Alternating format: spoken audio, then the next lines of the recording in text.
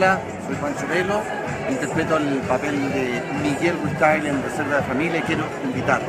En marzo se viene Reserva de Familia, no se lo